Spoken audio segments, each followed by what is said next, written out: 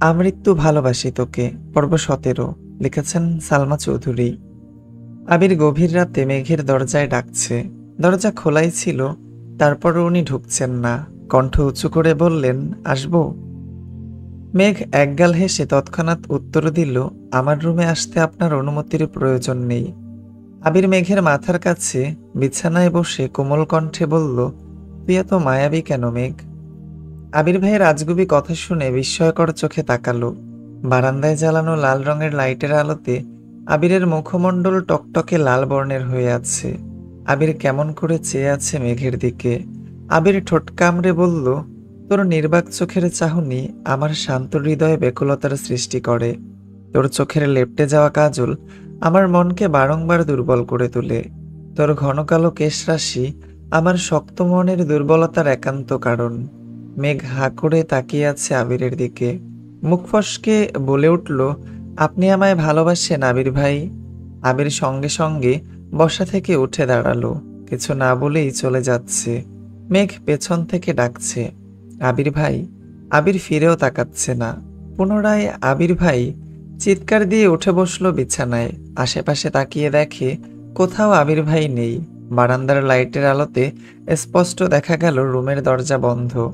মেঘ বিস্মত সমেতে তাকিয়ে রইল দরজার পানে।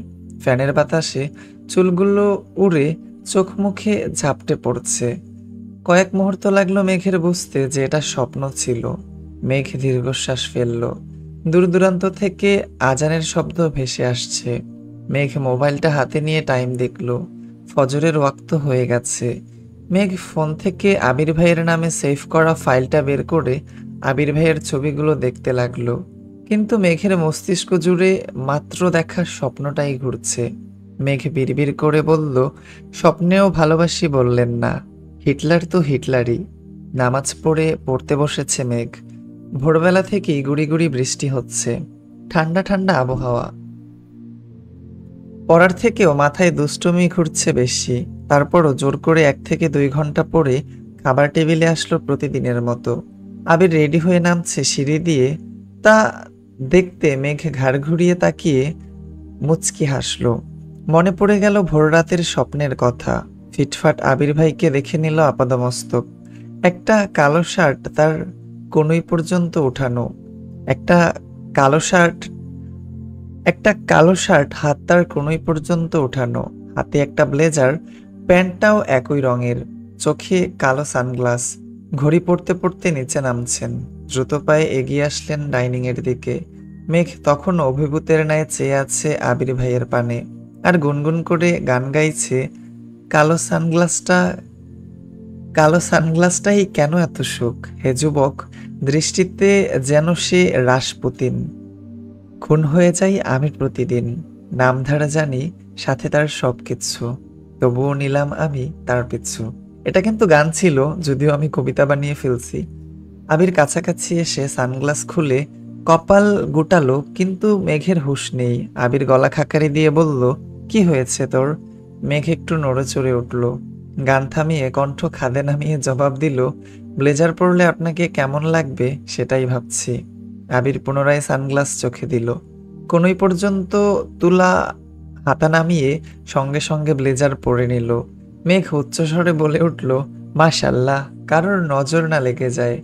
অকস্মাতে মেঘ চেয়ার থেকে উঠে আবির ভাইয়ের কাছে গিয়ে দাঁড়ায়। আবির ভ্রুকুচকে চাইল, মেঘ সহসা আবিরের ডান হাতের কনিষ্ঠা আঙুলে হালকা করে কামড় দেয়। আবির নির্বাক চোখে তাকিয়ে অষ্টাদশীর কাণ্ড দেখছে। এক সেকেন্ডের মধ্যে মেঘ দূরে সরে গিয়ে চেয়ারে বসে পড়ে। নিজের কর্মকাণ্ডের প্রতি এখন নিজেরই রাগ হচ্ছে। আবির ভাই কীভাবে রিয়্যাক্ট করবে আল্লাহ জানেন। মনে মনে ভীত হচ্ছে অষ্টাদশী।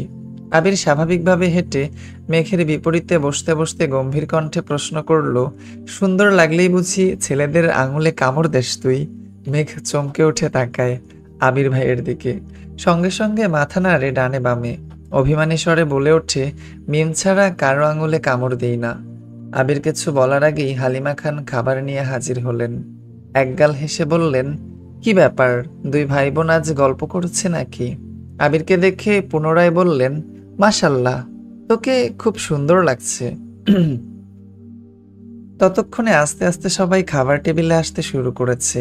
ইকবাল খান এসে আবিরকে দেখিয়ে বলে উঠলেন মাসাল্লাহ আবির, তোকে তো অনেক সুন্দর লাগছে। এত দিকে এতদিনে এখানে লেখিকা ভুলে, বানান ভুল করে ফেলছে। এতদিনে তোকে সিইও মনে হচ্ছে। তোর লোকেই আজকে মিটিং জমে যাবে। আলী আহমদ খানও ছোট করে বললেন, মাশাল্লাহ। মোজাম্মেল খান চেয়ারে বসতে বসতে বললেন, ভাইজান, আবিরকে বলা দরকার না কথাটা? আলী আহমদ খান এক সেকেন্ড থেমে বলে উঠলেন, ও হ্যাঁ আমার তো মনেই ছিল না। আবির নিরেট কণ্ঠে প্রশ্ন করল, কি হয়েছে? আলী আহমদ খান সহসা বললেন, তোকে একটু রাজশাহী যেতে হবে, চার থেকে পাঁচ দিনের জন্য। আবির দুই আঙুল দিয়ে কপালে আলতো করে ছুঁয়েছে, সাথে এক পলক মেঘকেও দেখে নিয়েছে। মেঘ মনোযোগ দিয়ে খাবার খাচ্ছিল। তবে এই কথা শুনে মুখে খাবার নিয়ে গোল গোল চোখে তাকিয়ে আছে আবিরের পানে আর মনে মনে বলছে, প্লিজ আবির ভাই, আপনি যাবেন না, প্লিজ। আবির বাবার দিকে এক নজর তাকালো, তারপর মাথা নিচু করে বলল, আমি এখন কোথাও যেতে পারব না। মোজাম্মেল খান অকস্মাৎ বললেন, কেন? আবির মনে মনে বলল, আমি দূরে গেলে কারোর খাওয়া বন্ধ হয়ে যায়, রাতের ঘুম হারাম হয়ে যায়। সহসা গলা খাকারি দিয়ে গম্ভীর কণ্ঠে আবির বলে উঠল আমার অফিসে কাজ আছে। এক সপ্তাহ পর অফিস শুরু হবে। এই অবস্থায় সবকিছু ফেলে আমি কোথাও যেতে পারব না। মোজাম্মেল খান এবার আলী আহমদ খানের দিকে চেয়ে বললেন, তাহলে কি আমি যাব, ভাইজান? আলী আহমদ খান কিছু বলার আগেই পুনরায় আবির বলে উঠল, কাউকেই যেতে হবে না। আমার পরিচিত লোক আছে, আমি এখান থেকেই কাজ করাতে পারব। তারপরও যদি সমস্যা হয় তখন আমি তোমাদের জানাব। তবে আগামী দুই থেকে তিন মাস আমি কোথাও যাব না, এটা বলে রাখলাম। চট্টগ্রামের কাজ মোটামুটি শেষ করে আসছি। সিলেটেও কাজ, সিলেটের কাজও কাকামুনি শেষ করে এসেছেন। রাজশাহীরটাও আমি দেখছি, তোমাদের যেতে হবে না। মেঘ নিঃশব্দে হাসছে, সবাই চুপচাপ খাবার খাচ্ছে। আবির খাবার শেষ করে উঠে যাবে তখন ইকবাল খান ডেকে উঠলেন, আবির বাহিরে বৃষ্টি। বাইক নিয়ে বের হইস না। আমি খাবার শেষ করে তোকে নিয়ে যাব, একটু বস। আবিরও বাধ্য ছেলের মতো সোফায় বসে রইল। তারপর ইকবাল খানের সঙ্গে গাড়িতে করে অফিসের উদ্দেশ্যে চলে গেলেন। সারাদিনই বৃষ্টি হয়েছে আজ, মেঘের কোচিং, টিউশন কিছুই নেই। বসে, রুমে বসে সারাবেলা পড়াশোনা করেছে। বিকেলের বৃষ্টি কমে এক চিলতে রোদ বেরিয়েছে আকাশে। মেঘের আর পড়তে ইচ্ছে করছে না। তাই বই রেখে মোবাইল হাতে নিয়ে পুরো বাড়ি চক্কর দিল, কিন্তু সবাই ঘুমাচ্ছে, তাই আড্ডা দেওয়ার মতো কাউকে পেল না। হঠাৎ মনে হলো অনেকদিন ছাদে যাওয়া হয় না। সেই যে রাতের বেলা আবির ভাইয়ের গান শুনে ছাদে গিয়েছিল, তাও আবার ছাদের দরজা পর্যন্ত, তারপর থেকে ছাদের দিকে পা বাড়ায়নি মেঘ। মেঘ স্কুল, কলেজে পড়ার সময় প্রতিদিন বিকালবেলা ছাদে যেত। ফুল গাছ লাগানো আর তাদের যত্ন নেওয়া ছিল তার নেশা। তবে এসিসি এর আগে টেস্ট পরীক্ষা থেকে মেঘ ছাদে যাওয়া ভুলেই গেছে। টিউশন কোচিং টিউশন কোচিং শেষ করে বাসায় ফিরতে ফিরতে সন্ধ্যার সন্ধ্যার পর হয়ে যেত, আর সন্ধ্যার পর ছাদে যাওয়ার মতো এত সাহস অষ্টাদশীর নেই। সেই থেকে গাছের যত্ন ছেড়ে দিয়েছে, গাছেরাও অযত্ন অবহেলায় মরে গেছে। তখন থেকে মেঘ আর ছাদে যায় না। মেঘ গুড়ি গুড়ি পায়ে সিঁড়ি দিয়ে উঠল ছাদে। ছাদের গেট খুলতেই চোখ ছানা বড়া হলো অষ্টাদশীর। ছাদের যতটা অংশ চোখে পড়েছে, পুরোটাই গাছে ভর্তি। মেঘ পা বাড়ালো ছাদের দিকে। সম্পূর্ণ ছাদ পরিষ্কার করে তাতে তিন সারি গাছের টব রাখা। এক কর্নারে শুধু ফুলের গাছ, বাকি সবটাই ফুল গাছে ভরা। সরি এক সপ্তাহে শুধু ফলে সরি এক কর্নারে শুধু ফলের গাছ, বাকি সবটাই ফুল গাছে ভরপুর। নয়নতারা বেশ কয়েক রঙের গোলাপের গাছ, পর্তুলিকার গাছ, তবে বিকেলবেলাতে ফুল নেই। তবে পর্তুলিকার গাছ, তবে বিকেলবেলাতে ফুল নেই। কাঠগোলাপের গাছ, জিনিয়া অপরাজিতা, রঙ্গন থেকে শুরু করে কত কত ফুলের গাছ, যার অধিকাংশ গাছের বা ফুলের নামই জানে না মেঘ। মেঘ নিজেকে প্রশ্ন করেছে, এত গাছ কে আনলো? তানভীর ভাই এত জীবনেও ছাদে আসে না। তাহলে কি আবির ভাই? সহসা মেঘের চোখে মুখে উজ্জ্বলতা ফুটে উঠল। ছাদ ছাদ ভর্তি এত গাছগাছালি দেখে মেঘের ভীষণ ভালো লাগছে। সবটা ছাদ ঘুরে দেখল, সারাদিন বৃষ্টি থাকায় পানি দেওয়ার প্রয়োজন হলো না। বিশ থেকে তিরিশটা ছবিও তুলেছে ফুলের আর গাছের। ততক্ষণে সূর্য ডুবতে শুরু করেছে। গৌধূলি আলোতে ফুলের মুগ্ধতা দেখে মেঘ লোভ সামলাতে না পেরে একটা গোলাপ ফুল ছিঁড়ে নিয়েছে। এতদিন পর নিজের বাড়ির ছাদে এত এত ফুল গাছ আর ফুলের সমাহার দেখে আবেশিত হয়ে পড়েছে মেঘ। এদিকে আবির করিডোর দিয়ে নিজের রুমের দিকে আসছিল। আবির মেঘকে দেখে ঠায় দাঁড়িয়ে পড়ল সেখানে। এদিকে মেঘ আপন মনে ফুলের গন্ধ শুকছে আর হাঁটছে। আশেপাশে বা সামনে কেউ আছে কি না, তারতে, তাতে তার কোনো মনোযোগ নেই। হঠাৎ আবিরের প্রশস্ত বুকের সাথে ধাক্কা খেল মেঘ। নিজেকে সামলানোর আগেই আবির মেঘের বাহু চেপে ধরে। সহসা স্বাভাবিক হয়ে মুখ তুলে চায় মেঘ। আবির ভাইয়ের তপ্ত দৃষ্টি দেখে মাথা মাথা নুইয়ে ফেলে পুনরায়। আবির বাহু চেপে ধরে। দ্বিগুণ ভারী কণ্ঠে ধমকে ওঠে, ফুল ছিঁড়েছিস কেন? মেঘ ঢোক গিলে বলে, মেঘ ঢোক গিলে মৃদুস্বরে বলল, সরি। আবির পুরো কণ্ঠে শুধালেন, সরিটা আমায় না বলে গাছকে বলিস। মেঘ নিচের ঠোঁট কামড়ে ধরে আছে। আবির ভাইয়ের ধমকে ভিজে আছে, ভিজে আসে নেত্রদয়। আবির মেঘের বাহু ছেড়ে দেয়। সঙ্গে সঙ্গে মেঘ চলে যেতে নেয়। আবির পুনরায় নিরেট কণ্ঠে ডেকে উঠল, শোন, মেঘ ওই, মেঘ ওইখানেই দাঁড়িয়ে পড়েছে। কাদো কাদো কণ্ঠে উত্তর দিল, জি। আবির এবার কিছুটা স্বাভাবিক কণ্ঠে বলে উঠল, সময় পেলে গাছগুলোর একটু যত্ন নিস, এগুলো তোরই। মেঘ এবার বিস্ময়কর, মেঘ এবার বিস্ময়কর দৃষ্টিতে তাকায় আবিরের দিকে।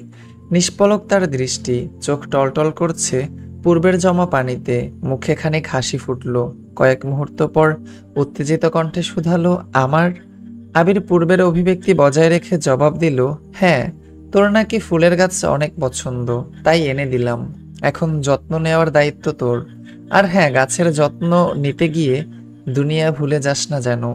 মেঘ বশীভূত চোখে চেয়ে আছে আবির ভাইয়ের দিকে। আবির এবার সরাসরি চোখ রাখে মেঘের চোখে মুখে। দুফোটা অশ্রুর দাগ হয়ে গেছে, সম্পূর্ণ গাল টকটকে লাল হয়ে আছে।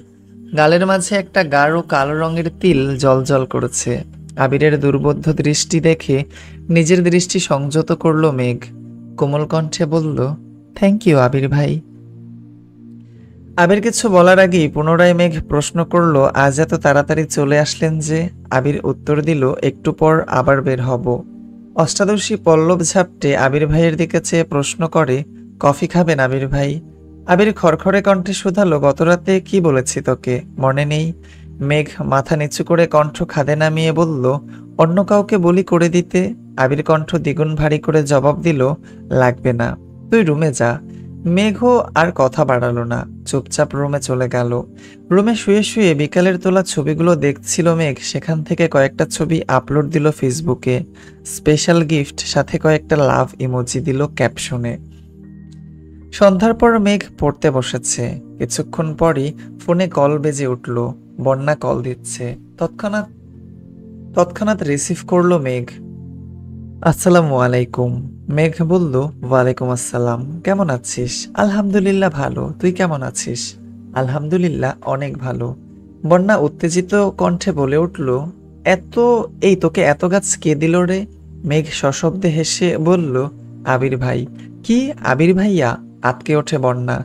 মেঘ পুনরায় বলে ওঠে হ্যাঁ কবে আনছেন জানি না। কিছুদিন যাবৎ মিমের রুমে কাজ চলছে। ছাদেও কাজ চলছিল, তাই আমি তেমন বের হইনি রুম থেকে। আজ আমি তেমন বের হইনি রুম থেকে, আর ছাদেও যাই না অনেক দিন যাবৎ। আজ হঠাৎ ছাদে গিয়ে দেখি ছাদ ভর্তি গাছ। ছাদের পরিবেশ পুরোই চেঞ্জ আসার সময় আবির ভাই বলেছেন, এগুলো নাকি আমার। বন্যা উদ্বেলিত ভঙ্গিতে বলল, বাহ, তোর শক্ত তাহলে পূরণই হয়ে গেল। তুই তো খুব করে চাইতি তোর ছাদ ভরা গাছ হোক। যেদিকেই তাকাবি, শুধু গাছ আর গাছ। দেখলি তো, আল্লাহ তোর ইচ্ছে পূরণ করেছেন। মেঘ খুশি মনে বলল, তুই সবসময় মেঘ খুশি মনে বলল, তুই সময় করে আসিস বাসায়, ছাদে যাব নে। আর হ্যাঁ সকালবেলা আসিস। ঠিক আছে, বন্যা উত্তর দিল। তারপর দুই বান্ধবী বেশ কিছুক্ষণ পড়াশোনা নিয়ে কথা বলে রেখে দিল। রবিবার থেকে ব্যস্ততায় কাটছে সকলের সময়। বর্ষাকাল থাকায় হুটহাট বৃষ্টি নেমে যায়। আবির বৃষ্টি না থাকলে বাইকে অফিসে যায়, আবার বৃষ্টি থাকলে গাড়িতে যায়। মেঘ কোচিং টিউশন নিয়ে ব্যস্ত হয়ে পড়ল। আবির ভাইয়ের সাথে তার টুকটাক দেখা হয়। হয়তো খাবার টেবিলে, না হয় সিঁড়িতে অথবা করিডোরে। আজ বৃহস্পতিবার। আবির সন্ধ্যার পর সোফায় বসে আছে, হাতে ফোন আর সামনে কফির কাপ নিয়ে। মেঘ তখনও বই নিয়ে রুম মেঘ তখ মেঘ তখন বই নিয়ে রুম থেকে বের হয়েছে। কিছুক্ষণ পরেই জান্নাত আপু আসবে। মেঘ করিডোর থেকে সিঁড়ির কাছে আসতে আসতে নিচের দিকে একবার তাকায়। চোখ চোখ পড়ে সোফায় বসা আবির ভাইয়ের দিকে। এক হাতে কফির কাপ নিয়ে কফি খাচ্ছেন, অন্য হাতে মোবাইলের দিকে তাকিয়ে আছেন। মোবাইলের হোম পেজ মোবাইলের হোম পেজে সাদা কালো রঙের একটা ছবি। মেঘ গভীর দৃষ্টিতে দেখার চেষ্টা করল, কিন্তু ক্লিয়ার বোঝা যাচ্ছে না। মেঘ দ্রুত পায়ে সিঁড়ি দিয়ে নামতে নেয়, যাতে কাছে গিয়ে ছবিটা দেখতে পারে। কিন্তু মেঘের নুপুরের শব্দে আবির ঘাড় ঘুরিয়ে তাকিয়ে মোবাইল পকেটে রেখে দেয়। মেঘ তীক্ষ্ণ দৃষ্টিতে আবির ভাইয়ের দিকে চেয়ে চেয়ে নিচে নামছে আর মনে মনে বলছে, কে এই মেয়ে যার ছবি আবির ভাইয়ের ফোনের ওয়ালপেপারে রেখেছেন? আমাকে দেখতেই হবে এই মেয়েকে। আবির কফি শেষ করে দীর্ঘ পায়ে বেরিয়ে যায় বাসা থেকে। মেঘ কিছুক্ষণ সিঁড়ির নিচে দাঁড়িয়ে পুনরায় পড়ার রুমের দিকে চলে যায়। দশ থেকে পনেরো মিনিটের মধ্যেই জান্নাত আপু পড়াতে আসেন। আজ একটু বেশি সময় নিয়ে পড়িয়েছেন আপু। মোটামুটি আটটা তিরিশের কাছাকাছি বেজে গেছে, ড্রয়িং রুমে কেউ নেই। জান্নাত পড়ানো শেষে বের হয়ে যাবে। মেঘও তখন পেছন পেছন পড়ার রুম থেকে বের হয় দরজা লাগানোর জন্য। জান্নাত দরজার কাছাকাছি যেতেই আবির বাহির থেকে দরজা ধাক্কা দিয়ে ভেতরে ঢোকে। মুখোমুখি দেখা হয় আবির আর জান্নাতের। জান্নাত সহসা হাস্যোজ্জ্বল মুখে বলে, আসসালামু আলাইকুম ভাইয়া, কেমন আছেন? আবিরও হাসি মুখে উত্তর দেয়, ওয়ালাইকুম আসসালাম। আলহামদুলিল্লাহ ভালো। তুমি কেমন আছো? মেঘ পড়ার রুমের কিছুটা সামনে স্ট্যাচুর মতো দাঁড়িয়ে আছে আর বিড়বিড় করে বলছে, আবির ভাই জান্নাত আপুকে চিনে, কিন্তু কীভাবে? তাহলে কি আবির ভাইয়ের ফোনে তারই ছবি ছিল?